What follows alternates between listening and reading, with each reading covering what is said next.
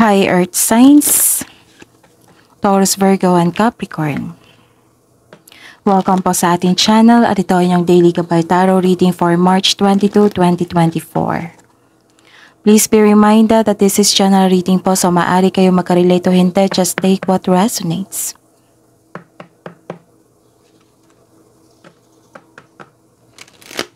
Gamitin ang reading na ito bilang gabay lamang. Balik po kayo dito bukas para sa ating Daily Gabay Tarot reading.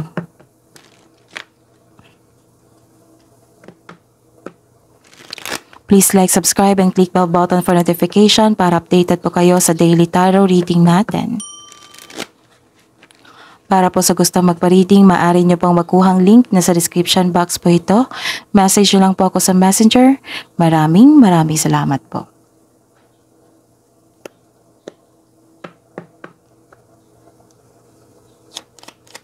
Spirits Guide. Ano po ang ganap? Sa araw na ito, March 22, 2024, para po kay Taurus, Virgo, and Capricorn.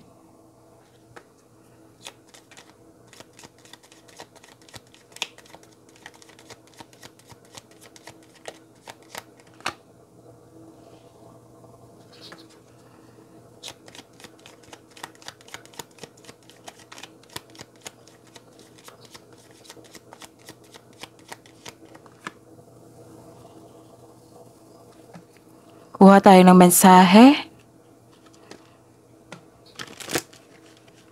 Spirit's Guide.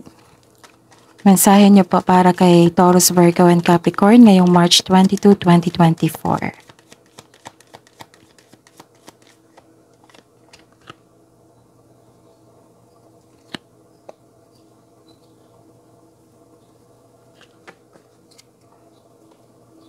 Okay. May nakikita ako dito na nag-uusap na magkakapatid or maaring um, malapit tong kaibigan na tinuring mong kapatid.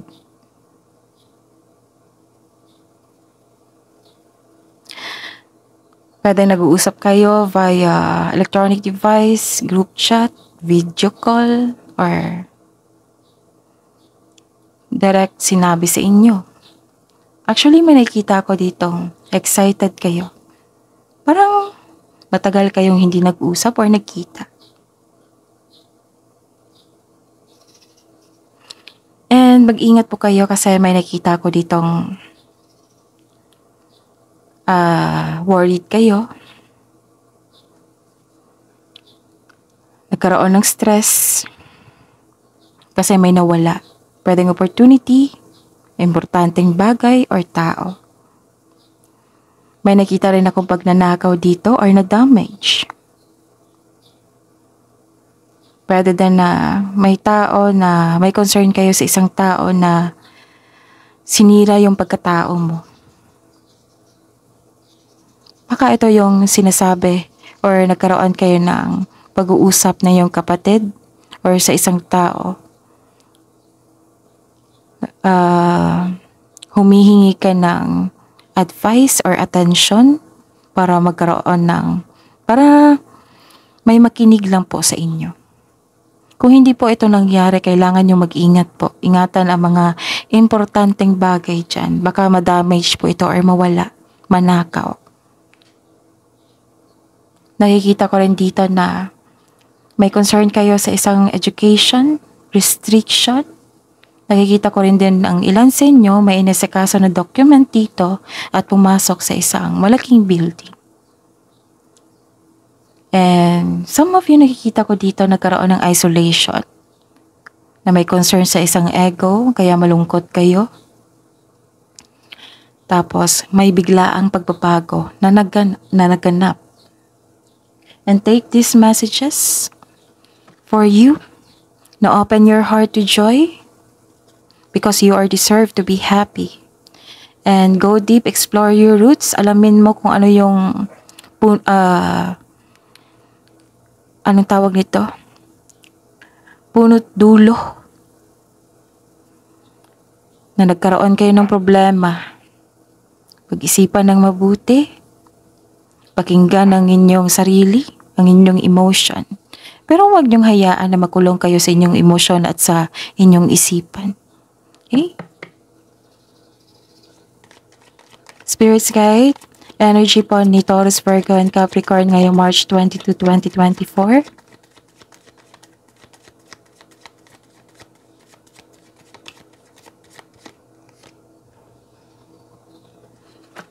Hmm, nakikita ko naman dito na nagkaroon ng fulfillment and happiness. Maaring granted ang inyong manifestation. Maaring nagkaroon ng fulfillment sa isa sa pangarap niyo. May nakita kong happiness dito.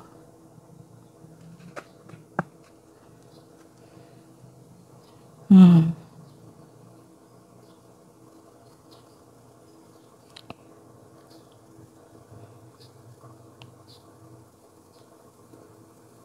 May kasiyahan eh, may celebration. Ukol sa iyo, pwedeng sa pamilya, or sa iyong kaibigan. Ah, uh, sabi po dito na focus po daw kayo sa achievement of level of love and success na nabinigay sa inyo na serenity or katahimikan, satisfaction at pasasalamat. Okay, so this is harmony, pagkakaisa, happiness, and fulfillment.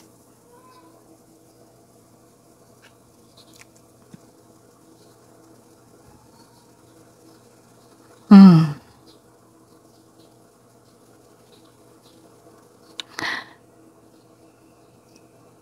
Mag-ingat lang po kayo sa komunikasyon sa inyong kapwa. Baari nagkaroon ng reunion. Hmm, kasi may kasiyahan po dito. Maaring, hmm, uh, kasi may nakita kong away dito eh. Kaya mag-ingat kayo sa inyong communication sa inyong kapwa.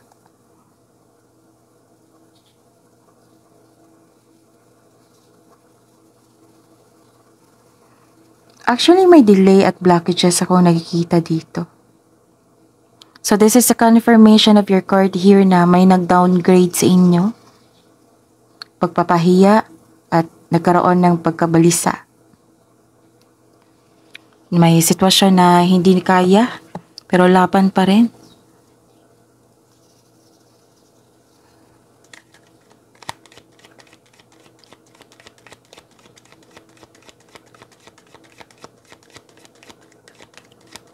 Spirits Guide, Career and Money po ni Taurus, Virgo, and Capricorn ngayong March 22, 2024. Clarification po sa card na ito.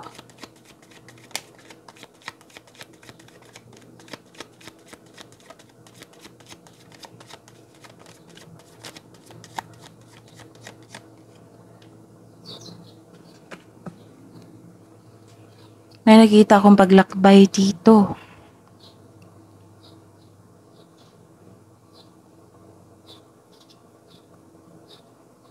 At may nakita kong kompetisyon, rivalry.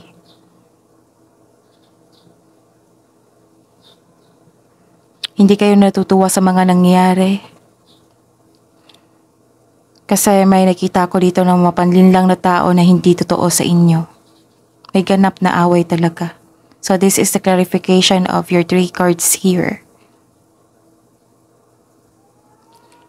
And may nakita ko dito na some of you nagpatayo ng bahay or structure. Hmm, may ganap na kompetisyon. Pwede din na nag-struggle or nagkaroon ng conflict sa workplace nyo ngayon. Hmm.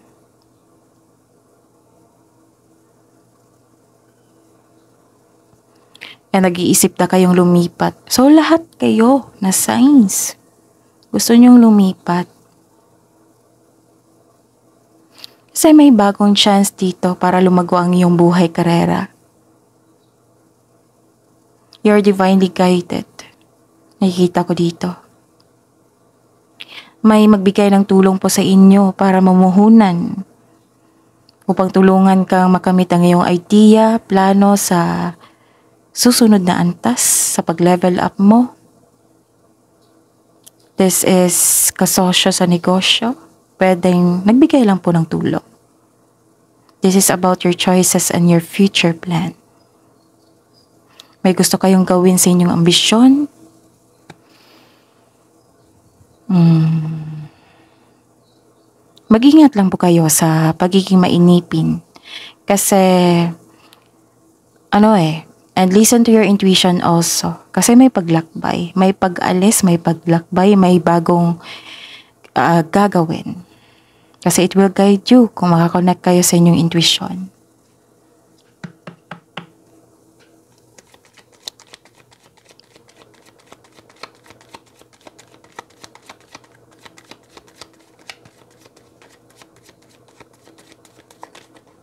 Love life, self-love, partnership, and romance, si Taurus, Virgo, and Capricorn.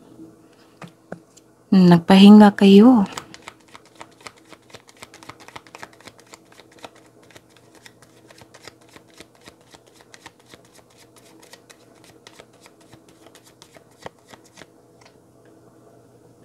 Hmm, naging impatient talaga kayo. Bakit?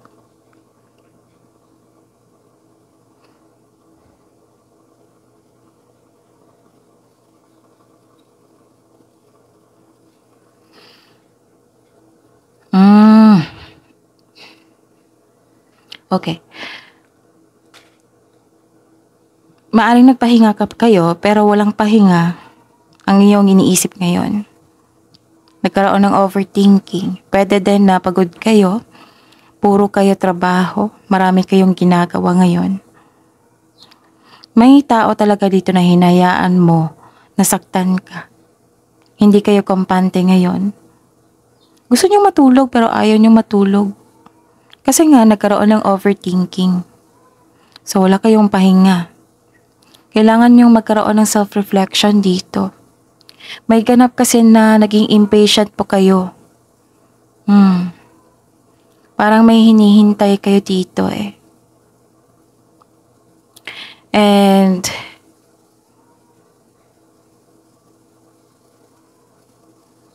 Okay. Kailangan yung hintayin to ha. Itong delay na hinihintay nyo kasi the universe is trying to show you something. Baka may na-miss kang opportunity. So, kailangan ng self-reflection dito. So, dalawang card na po nagsabi dito na kailangan ng self-reflection. Use your time wisely then.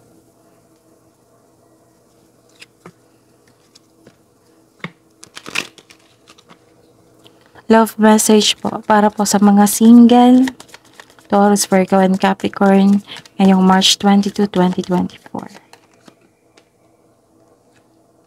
Mm, kung mahilig kayo sa crystals, connect with your crystals or kung wala po, connect kayo sa, or ano, mag-salt bath kayo. And look to the stars. Kasi, baka some of you mahil, ma-relax, kailangan yung connection dito. Love message. Para sa mga buhay mag-asawa sa mga may relasyon. Hmm. Twin flames contain an as aspect of each other's character with themselves. Even when you feel lost, there is always a way out the labyrinth. Kahit uh, wala nang pag-asa na masolve ang inyong problema, makakaalis ka rin dyan mabibig, babigyan din ng solusyon. Kung naguguluhan ka, hmm. oh. love message para sa lahat. Ito yun. Ito yung sabi ko sa inyo, rest and relaxation ay kailangan. You need to take a break. Hingi tayo ng wisdom message para po kay Taurus, Virgo, and Capricorn Spirit Sky.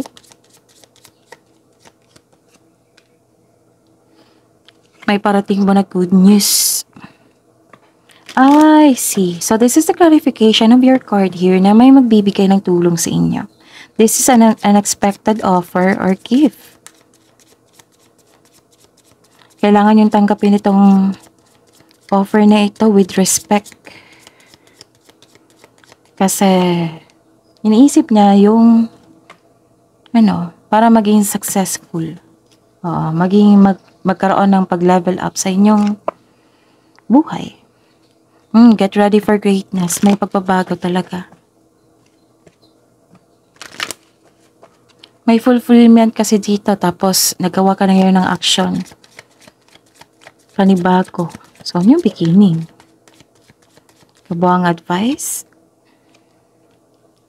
Bring love into the situation and the energy is gaining momentum.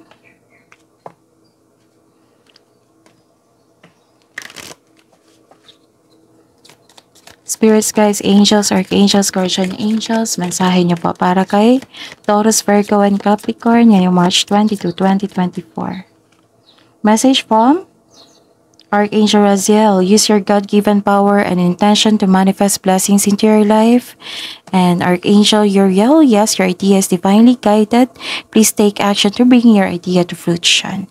That is your reading Taurus, Virgo, and Capricorn for today, March 22, 2024. Please like, subscribe, and click bell button for notification para updated po kayo sa daily tarot reading natin. Maraming maraming salamat po.